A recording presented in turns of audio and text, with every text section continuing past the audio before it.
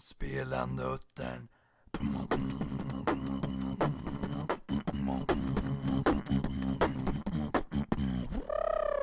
Ja men god dag, god dag och välkomna till Uttercast, episod 3. Jag är fortfarande själv, jag vet, många skrev i den förra podcasten att de ville vara med, och det är riktigt bra att ni skrev det, jag kommer försöka lägga till er på skype och sådär, så får vi se när ni kan vara med. Men i alla fall, idag är jag själv igen, sitter i mitt kök som vanligt, det blåser idag, det blåser som fan, det är riktigt windy, det är alltså vind överallt. jag tror jag skulle blåsa bort idag i alla fall. Men skitsamma.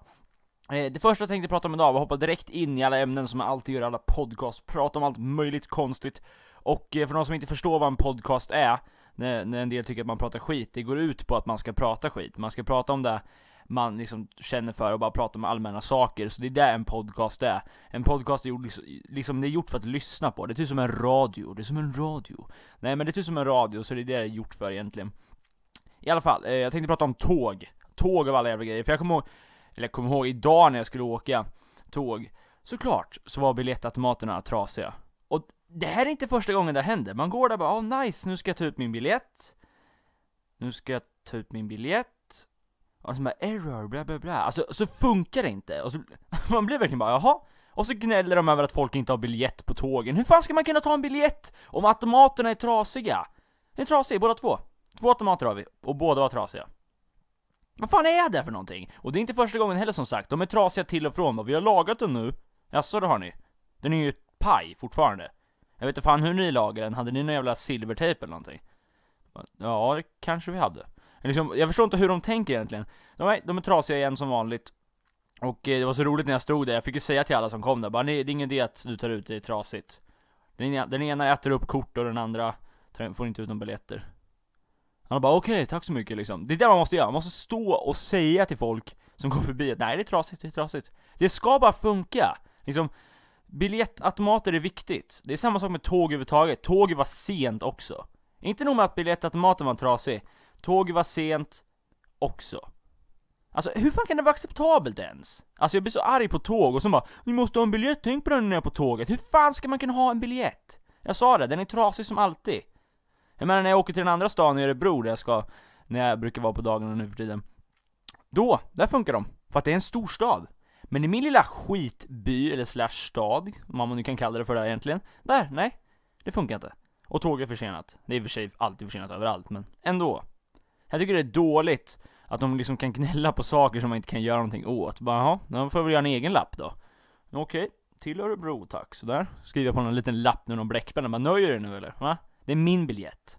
På grund av att du var så korkad och inte lyssnade på mig att den var trasig. Så, så det, är så. Så kommer jag för sent dit såklart också.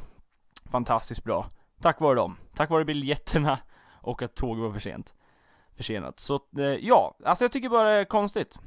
Att de inte lägger mer energi på att fixa sådana här viktiga grejer. De bara ja men vi måste fixa det här för det är jätteviktigt. Vi måste göra så att man kan knäppa ihop en plastpåse hur lätt som helst så att det blir som ett klister. Skit i det! Fixa automater. Fixa tågspåren, alltså tågspåren ska vi inte ens prata om. Alltså när man åker bara bu, bu, bu, bu, bu, bu, bu. liksom, För att de har inget underhåll på tåg längre, för Sverige har bestämt att vi skiter i att lägga pengar på tåg. Vilket är typ det vanligaste transportmedlet förutom bil. Det är tåg typ, alla åker tåg. Så affärsmän som åker runt på sina portföljer och eh, kostymer liksom, de åker tåg. Men nej, vi ska inte lägga något energi på att fixa tågen, vi ska inte lägga någon energi på att fixa automater, det skiter vi Det är skit, nej, inga pengar, ingen energi. Vi skiter i det. Vi har bättre saker att göra. Vi ska göra självlåsande plastpåsar, det är mycket viktigare. I alla fall. Eh, sen tänkte jag prata lite om lite andra grejer som jag alltid gör i podcasten. Wohoho. Och eh, jag tänkte prata lite spel, för det måste man ju alltid göra. Och jag satt och kollade på gameplay från Far Cry 4 faktiskt, som kommer ut 18 november, det är en väldigt lång bit kvar. Jag kommer prata mer om alla spel jag pratar om i Uttercast i framtiden, när det liksom kommer lite närmare. Men i alla fall, jag satt och kollade på demot eh, och hela trailern, hela köret och lyssnade på när de pratade och eh, det ser fett sjukt ut, det måste man alltid säga. Det ser så jävla sjukt ut och det har påmin påminner väldigt mycket om Far Cry 3 förutom att man är på ett annat ställe, liksom de har uppgraderat det mer också. Det finns fan elefanter i hela köret, det är sjukt. Eh, och snubben man är då heter eh, Adel Gale, tror jag han heter. Jag tror exakt jag uttalar det rätt. Och eh, liksom själva storyn då att han ska åka tillbaka till sitt hemmaland och träffa sin farsa tror jag det är. Och eh, ja, det ligger liksom uppe i berget, en jävla skitställe och eh, de har liksom hittat på en stad som heter Kalat då. Alltså den påhittade, den finns inte ens. Så ja, och det är såklart en bad snubbe där som alltid. Han påminner ganska mycket om han, eh, vad heter det, snubben från Far Cry 3 som var ond. Dock en lite mer snällare karaktär, verkar det vara i alla fall. Vi får väl se, han kanske typ äter upp ens farmor sen, jag vet inte. Eh, ja, verkar i alla fall vara riktigt coolt, stor värld, alltså det finns så mycket att göra på den Alltså man bara kollar ut över berget liksom, man bara möjligheter! Jag kan göra vad som helst. Och det finns hur mycket djur som helst, och man kan till och med locka djur med bete. Du kan liksom bara, åh här, släng lite kött där så kommer en örn och tar den. Hur jävla coolt är inte det? Det finns hur mycket coola grejer som helst. Dock har de bara visat typ 12 minuter. Men ändå, jag, jag är helt, alltså helt såld. Jag ska fan ha det spelet. För Far Cry 3 jag kom inte riktigt in i det här spelet. Jag körde det en stund och sen, nej, jag vet inte riktigt. Men Far Cry 4 ser så jävla sjukt roligt ut. Plus att Co-op kan man också köra. Man kan alltså köra med kompisar då. Och då har man hela den där världen för sig själv. Man kan hitta på vad som helst. Man kan fjanta runt, man kan liksom köra så små uppdrag och allting. Bara mörda saker och ting. Alltså det verkar ascoolt. Och så har de satt in ett nytt sparksystem också, så varje gång du kollar neråt samtidigt som du trycker på att du ska kniva, då sparkar den iväg grejer, så du kan liksom sparka iväg ett brinnande tunnor på folk och allting. Bara det är ju ascoolt det med. Så kan man också eh, döda folk från sitt eget fordon, alltså man kan hoppa till andras bilar och typ hugga dem i halsen och ta deras bilar och skit, det är sjukt. Jag såg det där och bara oh! Så att det, det ser riktigt coolt ut, det verkar vara hur mycket som helst, oändliga möjligheter och eh, allt det där. Man kan också attackera folk från luften, vilket man inte typ kunde göra förut, så eh, det verkar vara riktigt, riktigt intressant, så då kan man ju hitta på liksom vad som helst bara Jag är över dig loser, och så bara Sådär, total är like en eagle. Fan som en örn där bara Det är mer hökaktigt, jag vet inte, skitsamma. I alla fall, så det kommer bli riktigt coolt och eh, ja, man kan liksom utforska mycket som helst. Det finns ju lite så små grejer man kan hitta och så här, skatter och saker. Visst, det gör ju alla Far Cry-spel. Eh, I alla fall, så att det kommer bli coolt. 18 november då, kommer ut till Xbox 360, Xbox One, PS4, PC, liksom hela köret förutom Wii, stackars Wii. Alltså inte en Wii, de blir helt utmobbade av allting. I och för sig, vad har de att komma med egentligen? Bara kom igen, vi ska köra lite tennis. Nej, det ska vi inte, ingen jävla tennis. Vi vill köra Far Cry 4. Så det kommer bli riktigt, riktigt coolt. Tror jag i alla fall. Um, förhoppningsvis, det kan ju vara dåligt, men, men jag tror inte det. Det är liksom, det är ett open world-spel. Alltså, open world, det är liksom free roam, man kan bara springa runt som, alltså det är som GTA gånger 5 typ, som woo! Liksom berg, djur, liksom, fatta björn, man kan jaga björn! Och elefanter! Elefanter! En stor jävla elefant! Han kommer där med liksom snabeln och bara slår ihjäl, det såg jag också i och för sig. Man kan använda elefanter som sin fördel med, man kan använda dem som liksom strids Hundar typ, och bara kom igen elefantanfall typ. Så det är riktigt coolt, den slog ihjäl fiender och allt möjligt med sin snabel och slängde dem åt helvete, bara rakt in i väggarna. det är sjukt faktiskt. Så det kommer bli extremt coolt när det kommer ut 18 november då. Vilket är en lång stund kvar, men det är som jag säger, det är ingenting på sommaren. På sommaren får man köra de spel man har och så får man sola så mycket man bara kan. Och sådär, men ja, den här hösten kommer bli extremt bra med tanke på alla jävla spel som kommer ut. Oh, alltså jag, alltså jag längtar fan. Det gör jag. Samtidigt vill jag inte att sommaren ska ta slut, så det är lite så här. Ska man, vill man ha höst nu. Kom igen höst, eller vill jag ha liksom kvar solen så man kan liksom vara ute? För när, när det är, de spelen väl kommer ut, då kommer inte jag gå ut. Jag kommer sitta inlåst på mitt rum och bara, nej jag finns inte, jag finns inte. Det är bara, jag, jag är liksom inne i spelet, så kommer jag vara. Jag kommer liksom vara karaktären som en idiot. Bara, wow!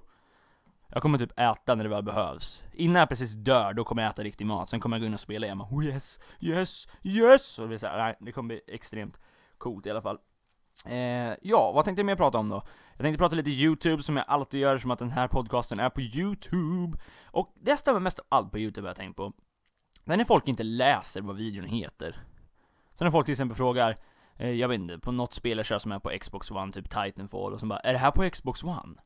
Det står i själva videon, det står i titeln. Det står typ Titanfall live och sen någonting, och sen står det eh, i parentes då Xbox One. Har inte du läst själva titeln då eller? Som bara, är på Xbox One? Alltså, läs titeln och lyssna på videon.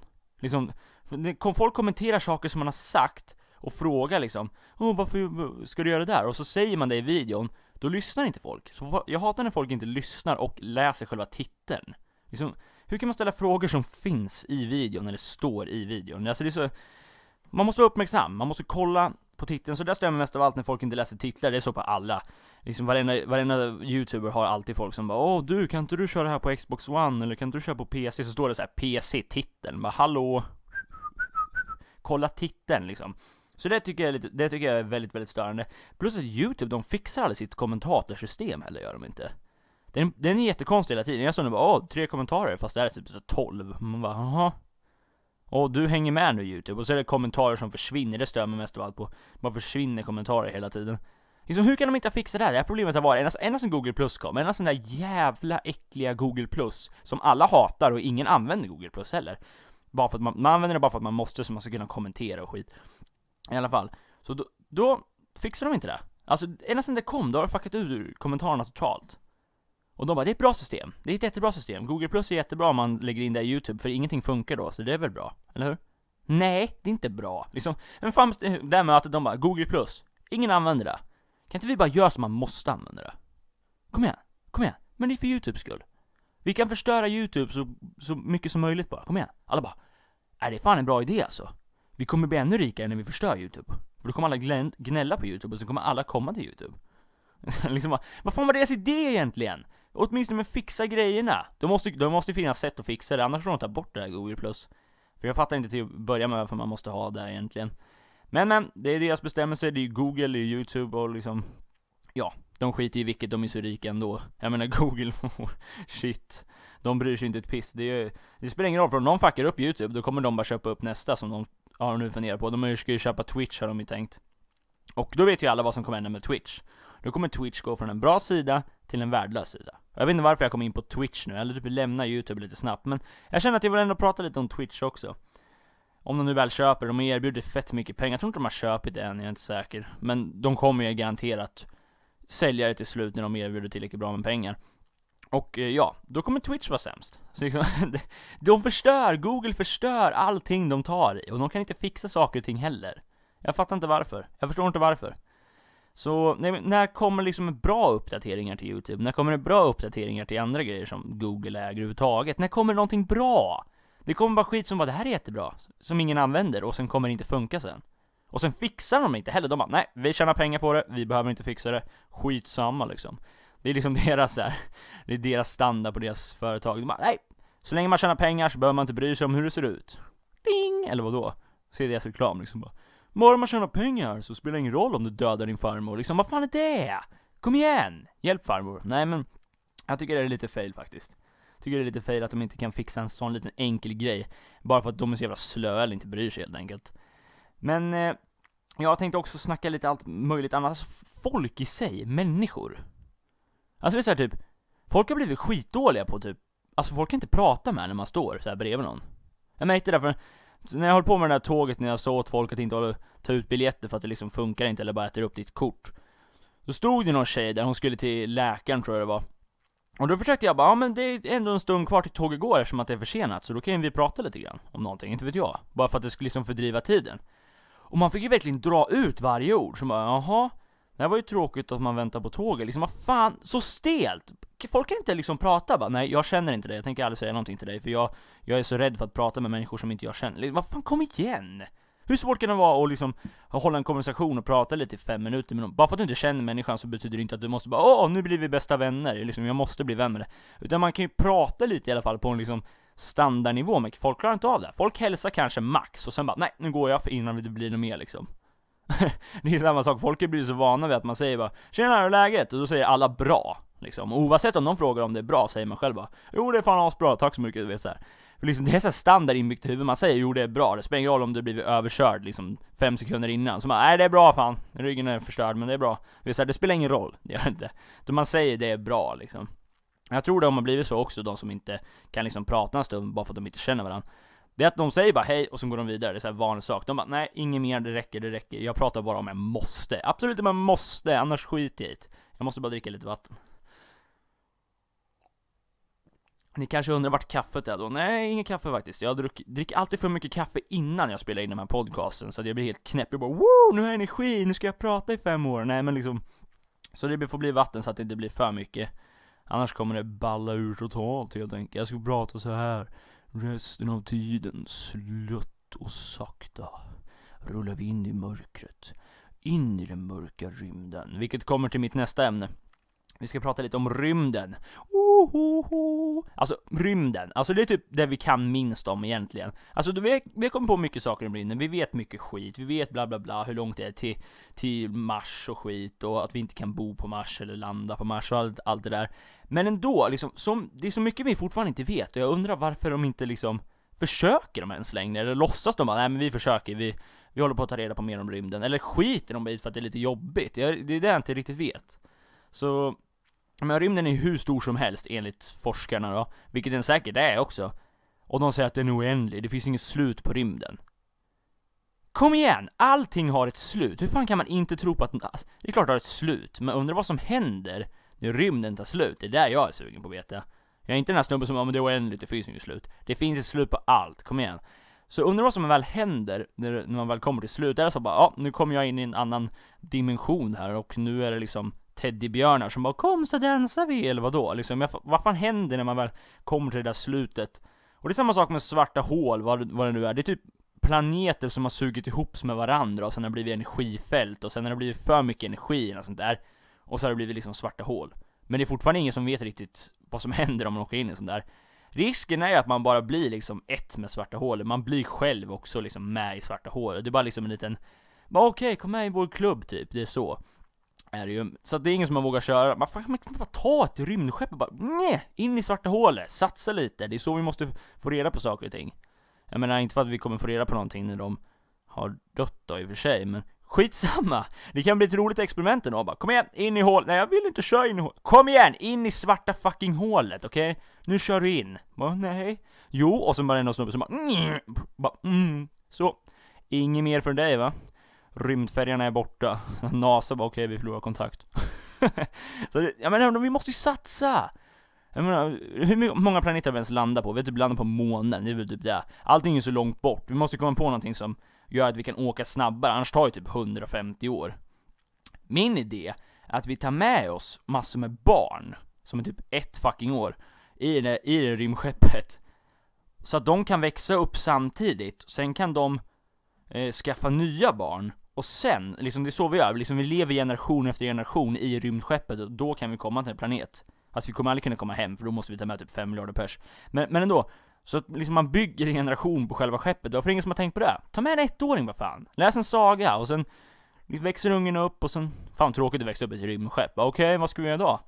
Ja, vi ska väl flyga runt lite grann i rymdskeppet. Kul, ja. Tänk att det är bara 60 år kvar med det här.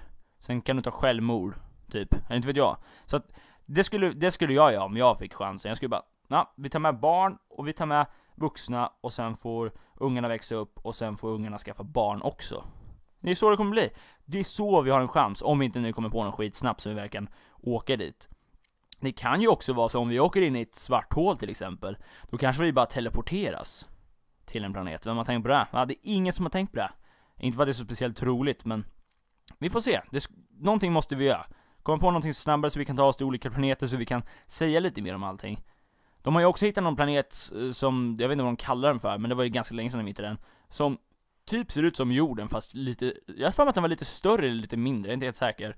Uh, och uh, de säger att där skulle man ju kunna bo, men den ligger typ en miljard mil här, eller en miljard mil. Den ligger flera jävla ljusår bort, så liksom Det kan vara lite svårt att komma till. Men tänk att utforska den, det kanske finns typ jättar där. Inte vet jag, jättar och typ så här trehövdade, hövdade mammutar eller någonting. Men tänk vad som kan finnas där! Om vi bara kan komma på ett sätt att ta oss dit, och sen kan vi liksom ta en fika där borta, så man känner läget. Mr Jätte med 15 huvuden, sju arv, oj jävlar han kommer hit, du är så här. liksom, det skulle vara så jävla intressant om vi väl skulle kunna ta oss dit. Och jag skulle lätt ställa upp om de bara, är det några frivilliga som vill följa med till vår grannplanet, eller våran planet som ser ut som jorden? Eh, ja, vi kan ta över den och jag följer med liksom. Jag ska bara på en gång åka med. Jag ska bara packa min lilla väska som bara ja! Jag är redo! Och sen skulle säkert någonting gå fel så skulle vi alla dö. Men tänk om man skulle komma dit så är det så här, typ gigantiska djur. Jag skulle tycka det var fett intressant. Fett intressant. I alla fall, det var min lilla rymdsnack i alla fall. Jag har inte så mycket mer att säga, det är svårt som sagt om man är själv på en podcast, och jag bara babblar på om allt möjligt skit som jag alltid gör. Men i alla fall, förhoppningsvis i nästa podcast har jag fixat med någon. Eh, jag skulle lägga till er som skrev för den förra podcasten att ni ville vara med. Och eh, så kanske någon av er får vara med då, så får vi se vad ni har att snacka om. Och lämna gärna en kommentar vad ni tyckte om podcasten, och om ni har några tankar om rymden, eller Far Cry 4, eller tåg, eller folk som inte kan prata i allmänhet liksom. Så skriv gärna en kommentar och eh, ja, så får ni ha det så bra helt enkelt, så hörs vi i morgon igen. Hej då, hej då.